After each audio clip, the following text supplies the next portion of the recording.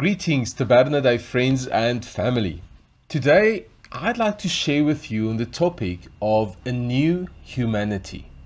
Now, the early church, the one we read about in the books of Acts through to Revelation, was a mixture of cultures and social classes and ethnic standings. On the one hand, you had the Greek culture, which had already past its heyday, but had contributed tremendously towards the arts and the early forms of science in the 300 to 400 years leading up to Jesus' coming in a human form. And yet, despite its contribution, this Greek culture also brought with it a variety of false gods like Zeus, Ares, and Apollo. And on the other hand, you had the Roman culture that came after the Greeks and who were at the time of the early church the rulers of much of the known world. Uh, they also contributed tremendously with their brilliant political and judiciary systems, but also brought with them weird religious ideas such as worshipping the Caesars as divine. And in between these two world powers, you found a variety of people, groups, and cultures and religions that all contributed to the world in which the early church was founded. Now, one of the great challenges facing the earliest church was the puzzle of ordinary people in the street. Ordinary people in the towns and cities asking, Who are these people? They are using this term Christos or Christ or Christians. But what exactly are they? Are they a new religion? And the answer was, well, no, not really. Religions were things with temples and priesthoods and sacrifices and weird practices. But the early Christians didn't do those stuff. Are they an ethnic group like the Jews? Well, no, they seem to be talking as if they're some sort of Jewish people, but most of them are not Jews. Most of them are Gentiles like the rest of us. Hmm. And are they uh, are they a particular social elite? The answer is absolutely not. They are slaves and free alike. They are men and women alike. They are from all different social and ethnic backgrounds. So, what are they? Are they a political group? And if so, are they dangerous? Are they likely to be a problem? Should they be stopped? So, when Paul is writing his letters that we find all over the New Testament, he's constantly advising people how to live in a difficult environment, an environment where there is no set pattern for what exactly the church is. Those of us who grew up in a Christian country or a Christian household find it easy to go to church. People know what a church is, even if they don't go to one, and it's actually quite difficult for the church in the modern Western world to recapture what it must have been like to be a movement wasn't actually a religion in the terms of the day and wasn't an ethnic group and wasn't a social group and so on. And although this new group wasn't a political group, they did form a new community, a, new humanity, a new kingdom with a different king than the ruler of the day but not one that existed to rebel against the political groups that were in control at any given point in time. One of the clearest instructions of this new movement's king has written down in Matthew 5 verse 16 where as follows In the same way, let your light shine before others, that they may see your good works and glorify your Father in heaven. You see, this new community focused on bringing light into a dark world, on bringing flavor to an otherwise bland society. The Christians faced a unique challenge, particularly in the Roman world. The Romans were very suspicious of any group Wherever people met together in too big a group, the authorities were suspicious, uh, wondering whether they were planning some kind of revolution. And with good reason also, since there had been quite a few revolutions and uprisings during the time of the Roman rule, both before and after Jesus' time on earth. And in particular, the early Christians were under threat because they didn't conform to normal social customs. They didn't join in with the religious processions, with the sacrifices, and with the things that were done to honor the Roman emperor. But they did talk about Jesus as their Lord and Savior. And it is in this context that Paul writes to Titus, uh, who found himself on the island of Crete. Now, the people were suspicious. The rulers of the Roman Empire wondered if these new people, this new humanity that had formed, were going to rebel and cause another upheaval.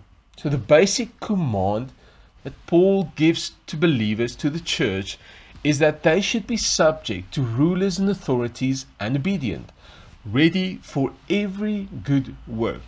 Read with me in Titus 3 verse 1 to 2. Remind the people to be subject to rulers and authorities, to be obedient, to be ready to do whatever is good, to slander no one, to be peaceable and considerate, and always to be gentle toward everyone. You see, this is what the church, what early believers were supposed to look like like new people, different people in a world where most people wanted to rebel and do evil, we as believers ought to be the ones who easily submit to authority, the ones who always want to do good to others. Christians, you and I, ought to be people who are known to be good team players and good workplace players and the sort of people you'd like to have beside you in a moment of crisis or difficulty the sort of people you'd be very happy to hire as an employee, the sort of people you'd be happy to work for because you know a Christian boss will treat you well. Perhaps you are thinking to yourself, yes, but the rulers and the authorities are corrupt and they do what is wrong. I refuse to submit myself to their authority. Many of the early Christians probably also thought the same thing. They kept pointing out the mistakes and the shortcomings of those who governed over them as possible reasons to perhaps stage a rebellion and not submit. But Paul's advice to them in Titus 3 verse 3 is still relevant to you and I today. Let's read. At one time, we too were foolish, disobedient, deceived, and enslaved by all kinds of passions and pleasures. We lived in malice and envy, being hated and hating one another. Paul reminds us that we too were at one time evil and doing the wrong things. Before you and I became believers through being born again, before Jesus took up his rightful place as Lord in our lives, we did sinful and shameful things, just like those who are currently unbelievers. But that was the old man. That's how we used to be. We are no longer like that. You and I are now a new type of people, a new and a different humanity. And to submit to the authorities doesn't mean you aren't allowed to differ from them. No, on the contrary, I believe that the church has to refuse to go along with what is wrong. We have to show and live and behave in a better way. But to be a Christian in society means I don't always complain about the government. I don't try and evade taxes or whatever, but rather I take time to pray for my government. Christians, you and I, this new humanity, need to be the type of people that others enjoy being around and having around them. People who don't speak evil of others and who aren't always looking for a fight. People who aren't always looking out for themselves only and their own interests, but people who are good and people who do good, people with whom you'd like to drink a cup of coffee, people you want to have as your friends. And now, from verse 4 to 8, we find the key to how all of this new humanity, this being a new God honoring person rather than a selfish, evil individual, comes to pass. You see, the gospel empowers us to live transformed lives. Read with me from verse 4 to 8. But when the kindness and love of God our Saviour appeared, He saved us, not because of righteous things we had done, but because of His mercy. He saved us through the washing of rebirth and the renewal by the Holy Spirit, whom He poured out on us generously through Jesus Christ, our Saviour, so that having been justified by His grace, we might become heirs having the hope of eternal life. Now, this is a trustworthy saying, and I want you to stress these things so that those who have trusted in God may be careful to devote themselves to doing what is good. These things are excellent and profitable for everyone. God Himself redeemed us and set us free. He came to rescue us from the evil people that we used to be, from the, the influence of sin and Satan. And the way he does this is, firstly, according to the scripture, by the washing of the rebirth, a specific once off occurrence, but then also the continuous renewal by the Holy Spirit the change that God's Spirit works in us, the transformation is that we become the people who want to do good, who want to do God's will. We want to do good, good deeds. We, we want to do the right things. We want to be the light to the world, not in our own strength, but because of the inner working power of God's Spirit in our lives. These few verses summarize the whole gospel message. And, and I want to encourage you to go and read them a couple of times this week so it sinks in. One theologian writes uh, the following regarding these verses. He says, The gospel is meant to rehumanize us, to make us better people, people who will demonstrate the saving, transformative love of God in who we are and in what we do. People who demonstrate the saving, transformative love of God by who we are and what we do. You see, people often assume that living as new people, this new humanity, means just being involved with spiritual things such as church services or Bible studies or small groups. And, and yes, these things are extremely important. But in these verses, Paul implores Christians, you and I, to be of service to the community. Believers should be busy doing things that are good and profitable to the community and the people around them. Maybe by mowing my neighbor's lawn or going shopping for an elderly couple during this um, COVID 19 lockdown. Maybe looking after a difficult baby for a few hours so a young mother can get some much needed rest. Maybe by doing these things, we'll make a bigger difference in our society than by just praying and then living however we see fit. We need to live a new humanity type of lifestyle where we do good because of the good that has been done to us by God. In so doing, we make the goodness of God and His love for people visible to those around us. And in, in doing this, we might just influence some people to experience Jesus, to become followers of Jesus as well. In this way, we help people experience this new humanity that came about, not due to a political or social group, but because of Jesus Himself. Let's pray together. Father, we thank you that you have made us into a new humanity.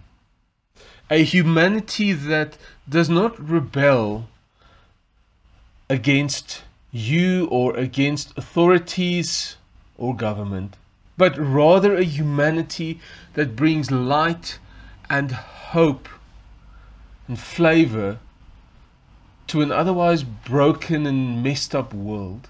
Lord, this morning I firstly want to pray and, and ask you to help us to live like new humans, new people, people made new by your power, people who bring about change in the lives of others. And this morning, if you are not yet a believer, if you're watching this video and, and you say to yourself, I'm not sure that I am part of this new humanity, uh, as we read, we need to be born again, first of all. And you say, I have not been born again that I know of, or I maybe maybe I've become lukewarm and I'm not serving Christ as I should. I want to pray with you this morning as well and give you an opportunity to um, give your life to Christ. If that is you, just pray these words out loud after me. Father in heaven, I come to you in the name of Jesus.